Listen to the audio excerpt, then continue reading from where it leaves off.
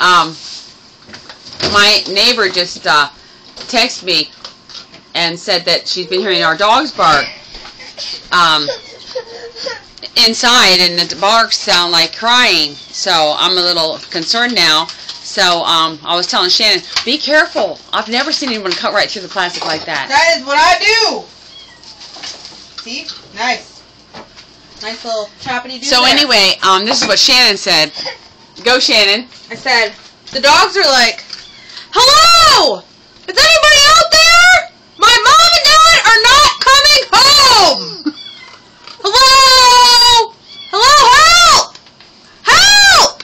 The babysitter. Help! No. No, the babysitter what?